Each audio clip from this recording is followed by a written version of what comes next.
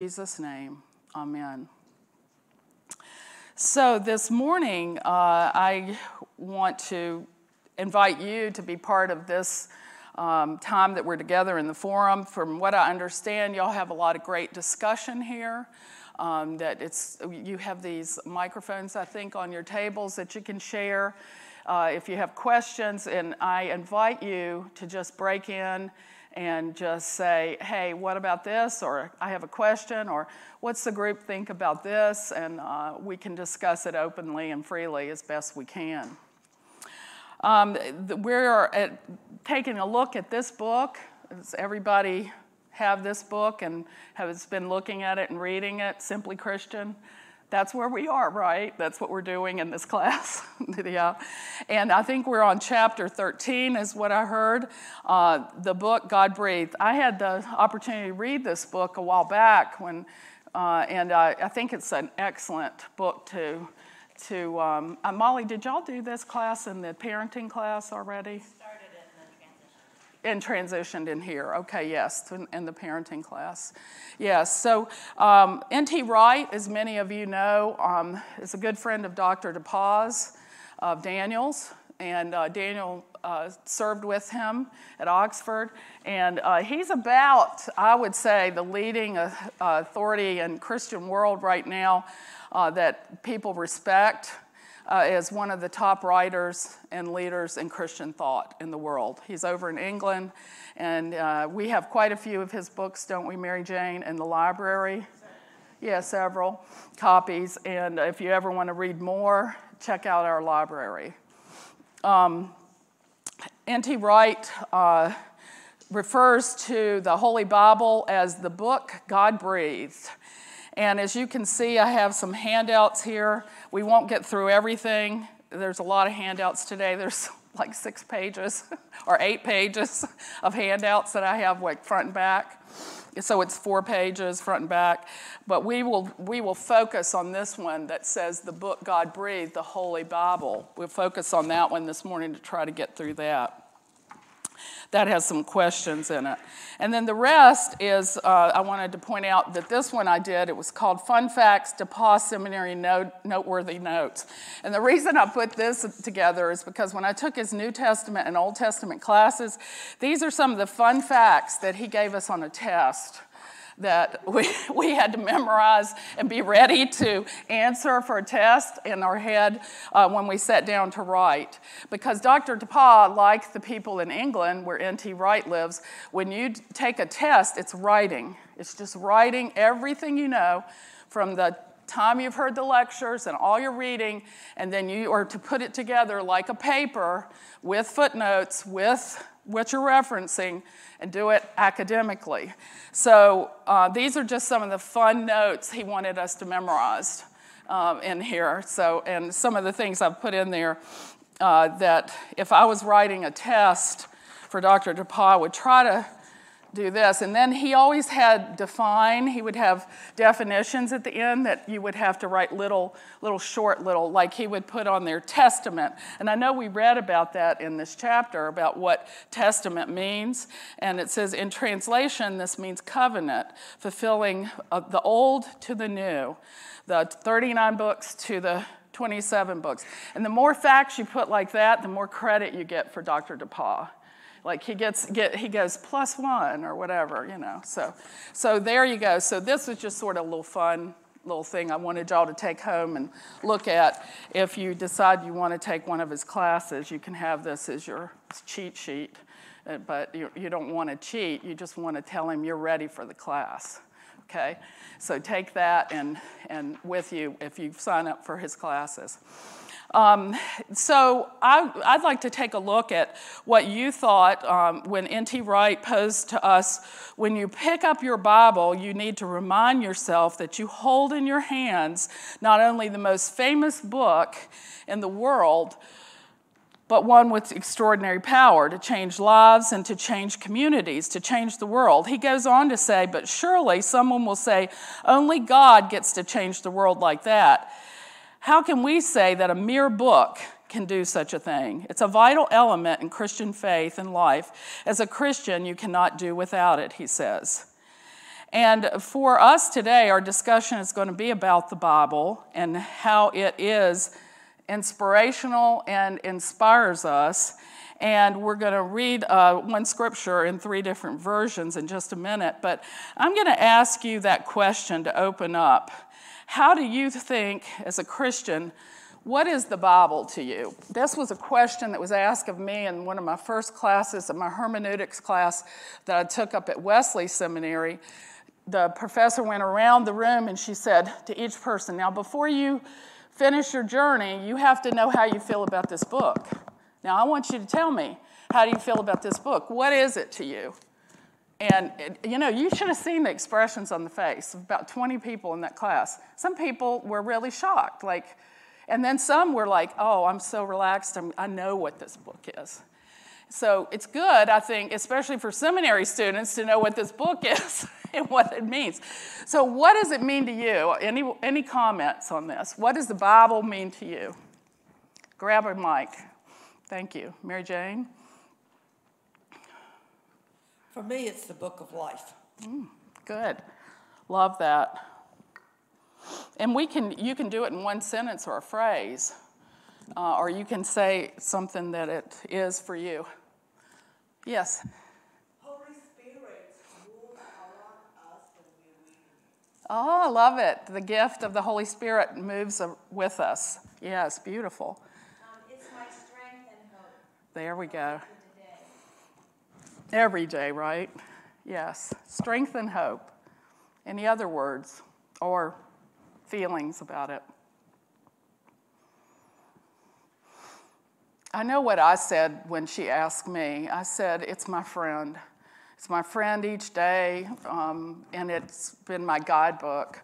Um, and I, I, think during that time, it was right when my father had passed away. And you know, I found it as um, a time of grief for me, which uh, it, our group here at Parkwood that we've been going through during it was a it has lament in it. It has uh, everything, and we're going to talk about that what the Bible's made up of. But it's inspiration, it's mystery, it's power, it's a guidebook for life.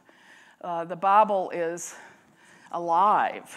You know, when you look at those facts that I, I have there on the deposit sheet, uh, it says that it's been translated into over 3,000 languages, and that it is uh, the most important book and most published book of all time. It's influenced history. It's in, it continues to influence history. It's changed history. It's holy when we say that, and look at that holy. It is the rock the children this week, uh, Breaker Rock Beach is, was the theme. And the rock, I asked them the question, what is the Bible the rock? Is Jesus the rock? And they, the children screaming, you know, like I said the whole time, saying, Yes, yes, Jesus, Bible, you know, because the, the Bible is a rock that we can always go to and we can always hold on to. So, yes, the Bible is, is our inspiration and it is um, the center of who we are as Christians. Uh, along with Jesus. And, and interestingly, uh, uh in this scripture that he talks about in this chapter, 2 Timothy chapter 3, 16 through 17, can I have three volunteers to read that in three different translations? The first one is in the NIV. It's there on, it's there on your sheet if you want to take a look at it you just grab a mic and, uh, and we can read together. Molly, you want to do the first one, the NIV? Thank you. Uh-huh. You got it? Thank you. There at 16. All scripture is God breathed and is useful for teaching, rebuking, correcting, and training in righteousness so that the servant of God may be thoroughly equipped for every good work. Thank you. Who'd like to read from the Living Bible?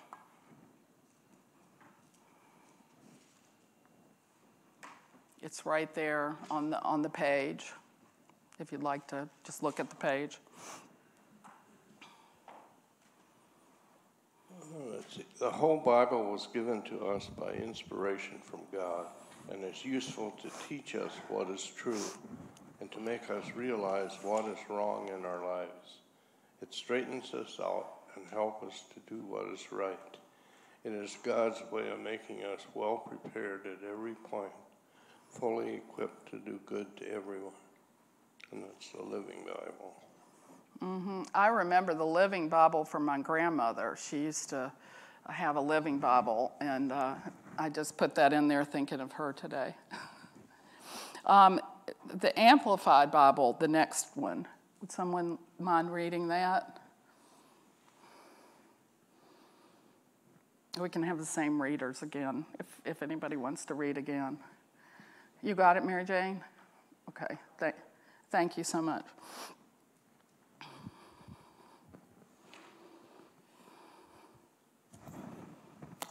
It's the one that says all scripture. All scripture is God breathed and God breathed, given by divine inspiration, and is profitable for instruction, for conviction of sin, for correction of error and restoration to obedience, for training in righteousness, learning to live in conformity to God's will, both publicly and privately, behaving honorably with personal integrity and moral courage so that the man of God may be complete and proficient, outfitted, and thoroughly equipped for every good work.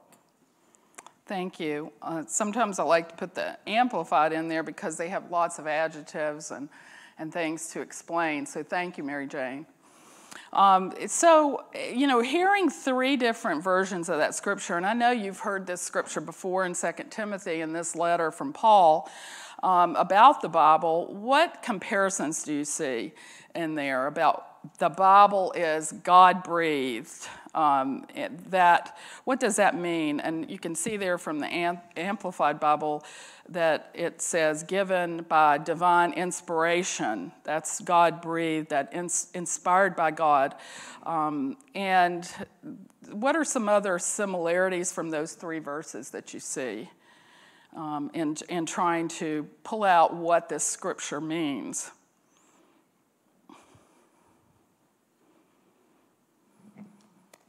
Well, I think the Holy Spirit revealed to the authors things that they brought to remembrance or explained mm-hmm. to reveal what they wanted to mm-hmm. forward as part of God's Word. That's good, Roger. Thank you. Yes, the Holy Spirit is, is alive and well, and and and what I believe that um, in looking at you know these different versions, and that's another thing about um, well in these little fun facts.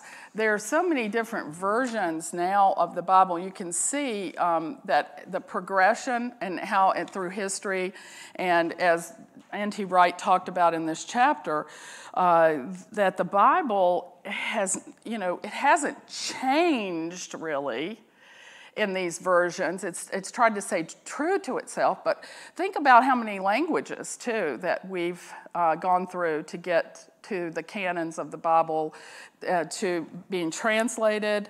Um, we, we have the Hebrew Bible uh, that was first given to us through the Old Testament, and then from the Hebrew, we went to the, the next version of the Bible was um, the Greek version, the Greeks, because the new Christians needed it translated in a language that they could keep going on and when they were meeting two, two to three centuries later and uh, after jesus had come.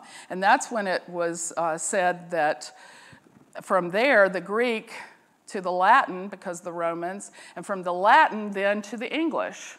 And you can see how uh, the, it, the translations then started in English because of the printing press and because of the way that we needed to educate more people to be able to read because people didn't know how to read in English and throughout Europe. And then as it spread, you can see from 1382 to 2001 that that's the Wycliffe Bible going all the way to the English Standard Version. And so then from there, even more versions of the Bible, translated in English. But I put a little picture on the back of the DePauw uh, notes well, no, it's on the back of your notes. Sorry about that. The notes from today. That picture of the Gutenberg Bible. Has anyone ever seen a copy of the Gutenberg Bible? That's the German Bible that was first printed.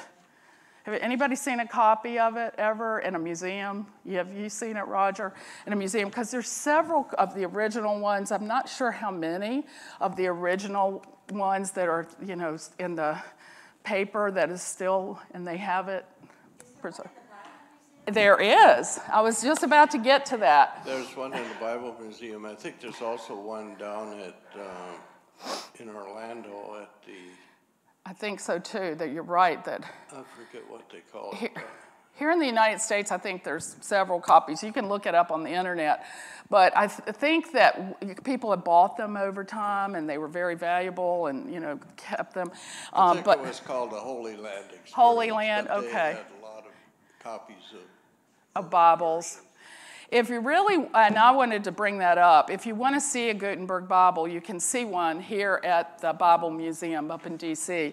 And I uh, highly recommend going to the Bible Museum to take family members going to see. It's, uh, it's an experience in itself. There's some amazing things there. Uh, to, and, and they have a printing press. They have the Gutenberg Bible out, and then they have a printing press that looks like the first printing press that was used. And they have someone who's there as a student, and they talk to you about it and about how the Bible was first produced. And uh, it's just that some of the uh, exhibits there are so well done, Smithsonian quality. Um, I was able to do a back room tour uh, not too long ago with uh, some of the people from the Washington Theological Consortium, and they took us back where they're preparing the Bible. This is how precious the Bible is to some, certain people and leaders of our country. Jimmy Carter gave one of his Bibles already to have on display when he passes from this world they're going to have it there at the Bible Museum. They're going to take it and put it on the street for people to go by and look at. And his notes and his writing of how he has, the Bible has been such an important part of his life. He wants it on display for people. More than he wants his body on display, he wanted his Bible on display to say, This has been my guidebook. So they have it, preparing it, and they're putting it together. And you could take a look at it, you know, if you were back there with the curators and to see. And you could see he'd written notes all in his Bible. He had several copies of Bibles there, but uh, that he wanted to contribute to the museum and give it to them versus anyone else.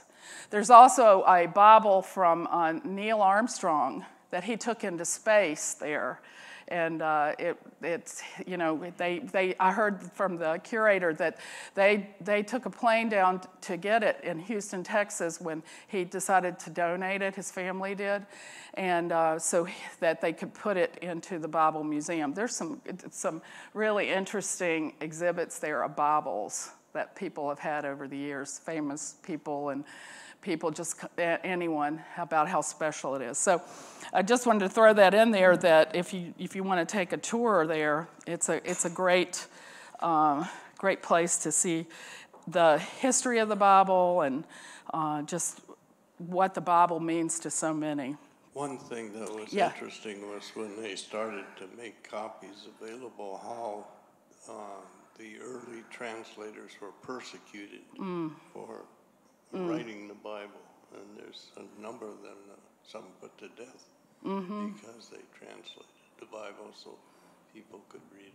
The translators. Think about that too. In other countries, we know that from mission stories that taking a Bible into somewhere uh, that you can be persecuted for it.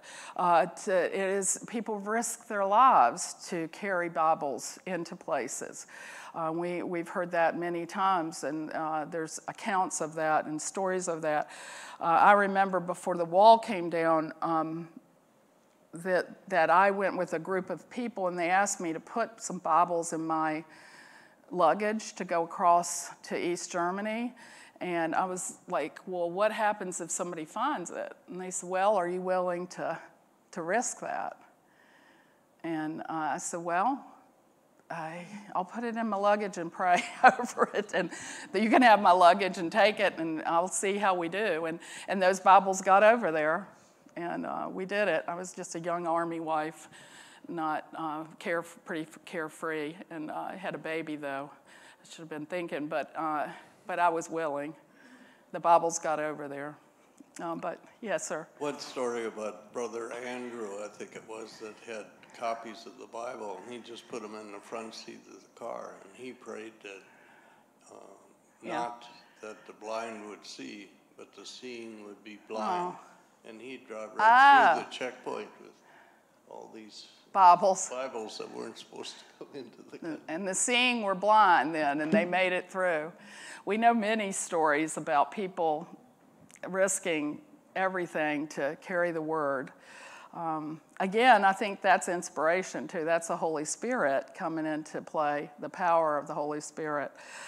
All right, well, taking, taking a look at those, um, th- at this verse is sort of our foundation today of what we're studying in this chapter about uh, that all scripture is God breathed and is useful for teaching, rebuking, correcting, training in righteous, and training in righteousness, so that the servant of God may be thoroughly equipped for every good work. Well, that I think is what the thesis of the book is. Simply Christian, uh, this is an important chapter because the Holy Bible is very important in our Christian walk and our spiritual formation.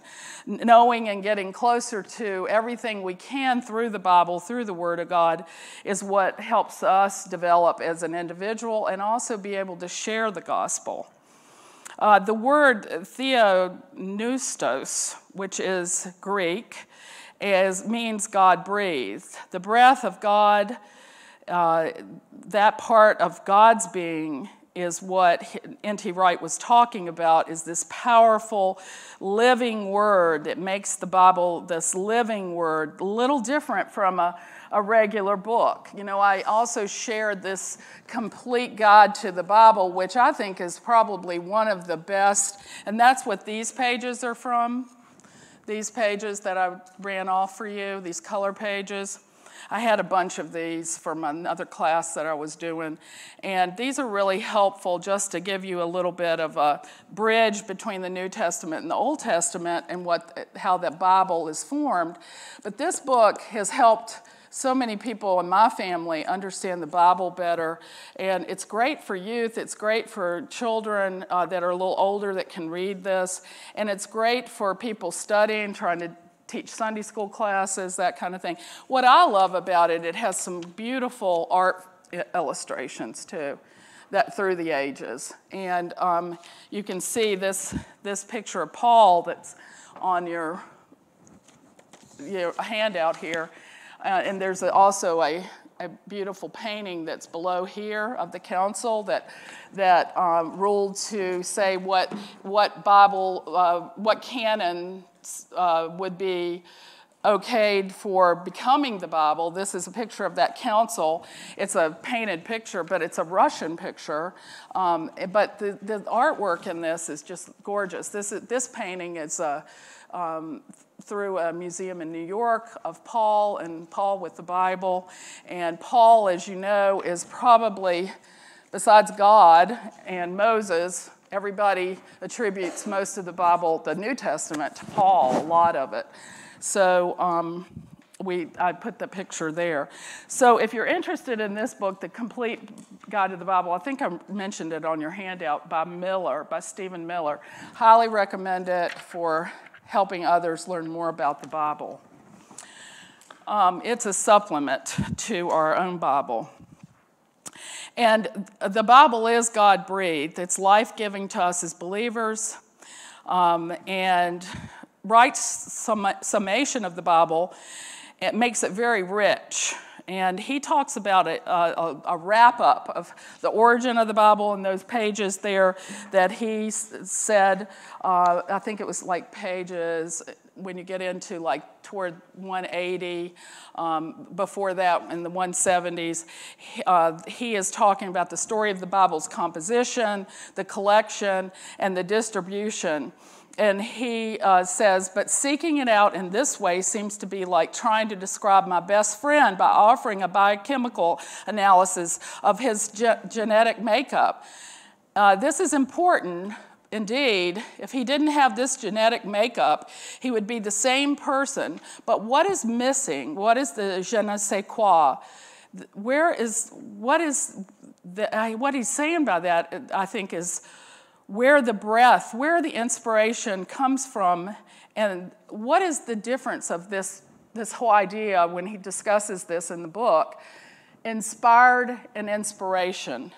One, inspired is the verb, inspire, to inspire, and inspiration is the noun. So let's think about that for just a moment. What, talk about the inspired and inspiration definition of what the Bible is to us.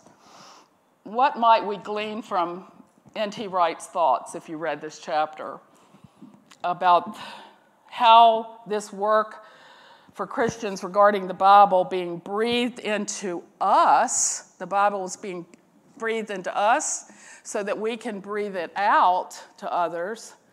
What is what does that mean to you?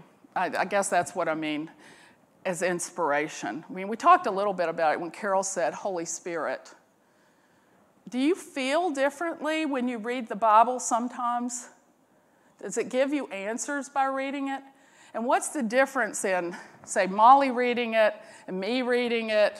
And, you know, this is part, as Baptists, what we believe we're able to do, right?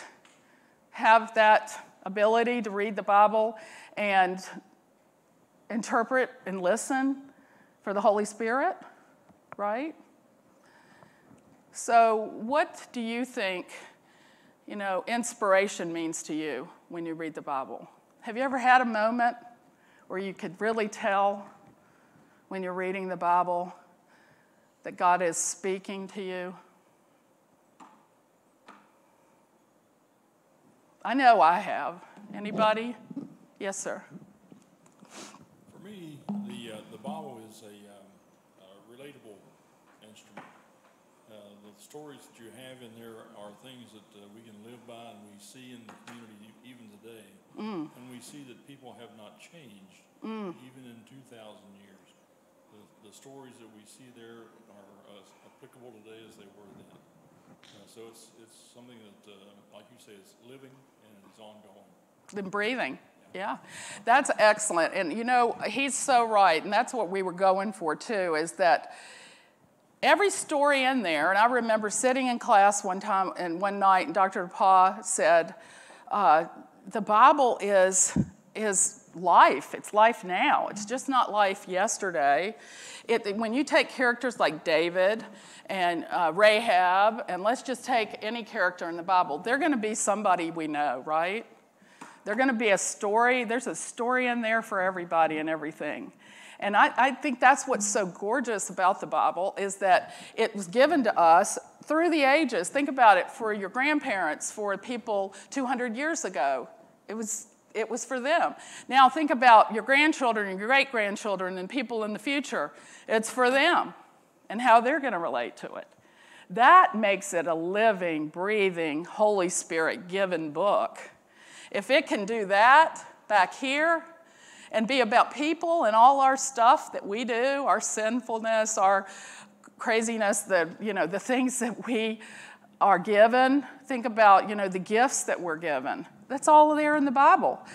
You know, there were architects, there were uh, artists, there were singers, there were uh, all kinds of people doing trades, tent makers, doing everything in the Bible. It's very exciting when you think about uh, it talks about life, like you said. It talks about life, and it's life breathed. So that I think is the the the the verb inspired and the noun inspiration. Both. It's living and working with us all the time, and we're living and working with it through the ages. I don't know any other book that can do that, do you? It's special. The Holy Bible is holy. And uh, as, as, we wrap up, I'm going to wrap up a little bit early today. I hope y'all don't mind um, because I have to do a few things in worship today. But um, when we, we talk about the Old Testament and the New Testament coming together and this completion, uh, you know, Dr. DePaul used, used to use an illustration in our class of the cross, and he would say the old and the new on each side of the cross, and he would say that bridge in between was Jesus okay? And the old testament or the, the old stories that we that predicted that jesus was coming and the new is what the new believers were doing and jesus living and jesus doing his mission and then also the revelation of how we go into the future with it. So it's this whole completion. The bible is this and it goes this way but also it's this way from god the Father, Son, and Holy Spirit, and that's the cross. You know, he's probably done that illustration some way for y'all before, hasn't he?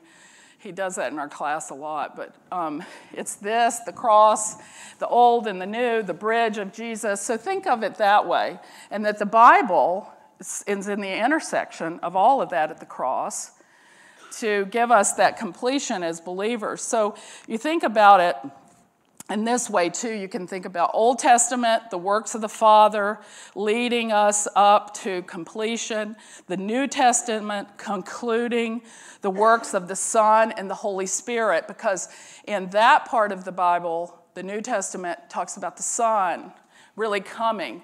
He's, he's predicted and coming in the Old Testament. He's here in the New Testament. He's living.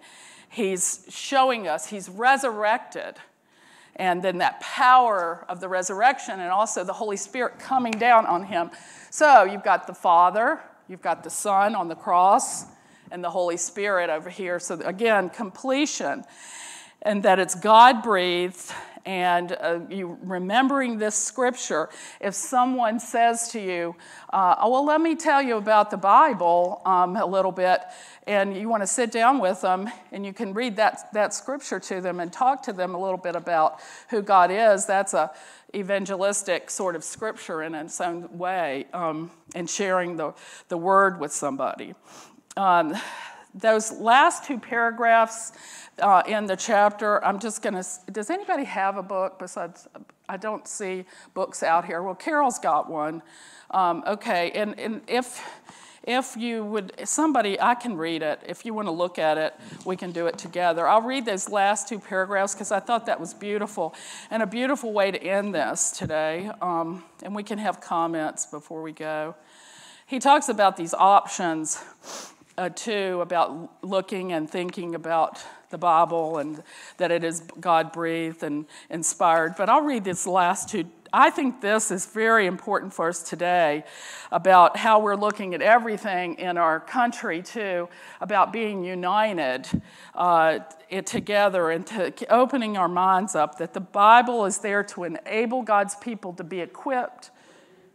I'm sorry, I, I'm on page 183 and 184 at the very bottom, the last two paragraphs. I'm going to read just this one quote real quick, and then I'll read those two paragraphs.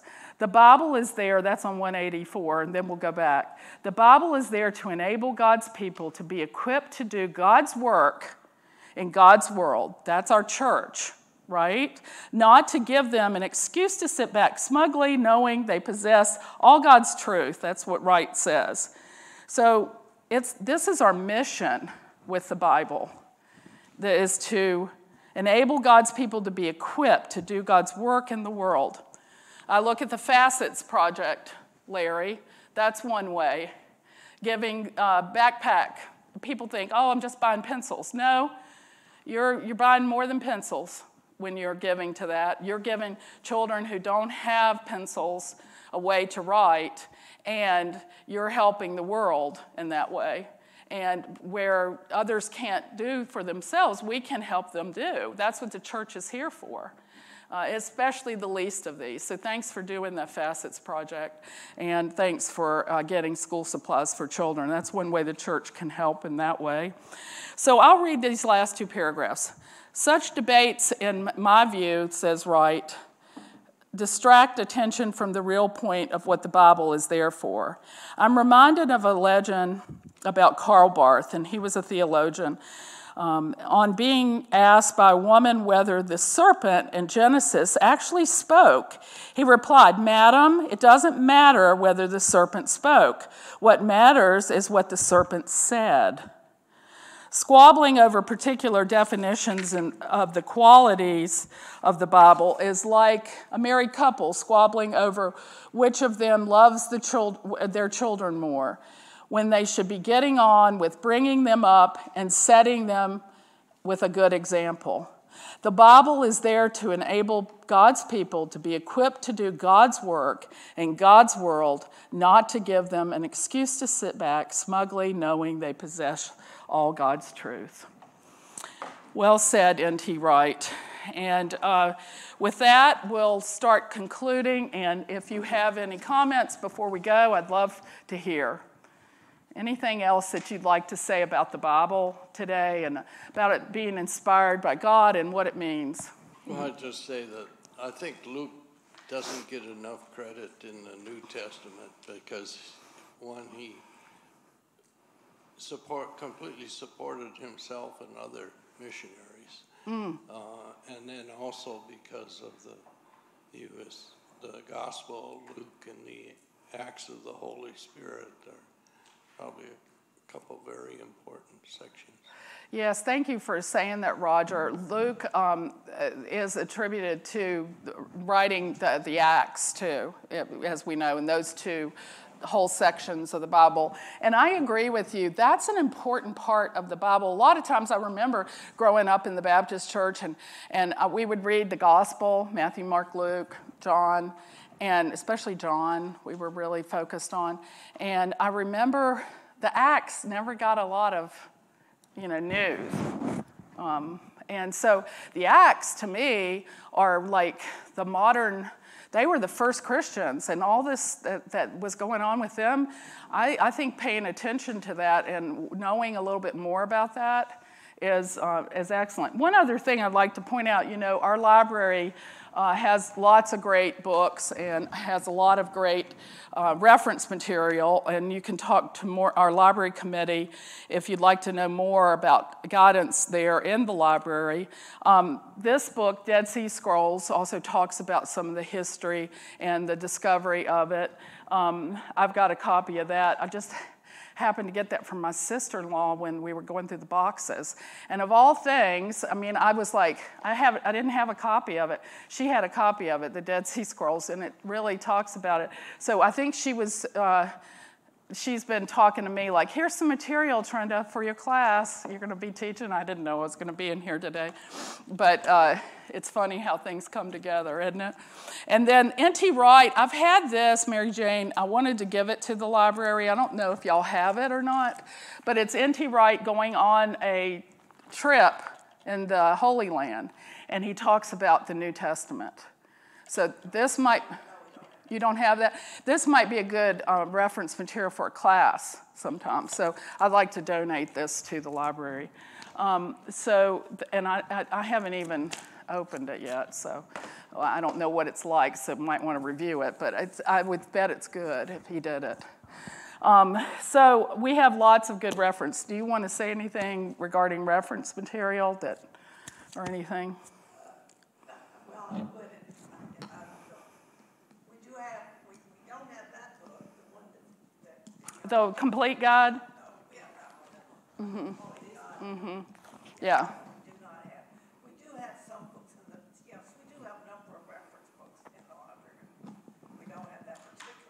Okay. so I'll be donating another copy. Yeah. Yeah. Yeah, that's okay. I, would put you on the spot. I'm sorry. Um, you, I know you do. You, our library is excellent down there, Mary Jane. Thank you. Yeah, the library is a great resource. Thank you. Yes, sir. One of the other uh, historical books, I think, is Josephus. Mm. Includes a lot of information on the early history of the church. All right. Anything else you'd like to share today before we go? Any questions? Um, I hope you're enjoying this book. It's, it's a good one. Anything else before we go? All right, well, I'll say a prayer um, to dismiss us. And uh, again, sorry I I'm letting us out a little early. What time do we normally get out? 10:30? Okay, all right, good, good. All right. We go now, Lord, uh, in the presence of our brothers and sisters here and those that will worship today for our United Sunday that we will be with our brothers and sisters from the Spanish Fellowship.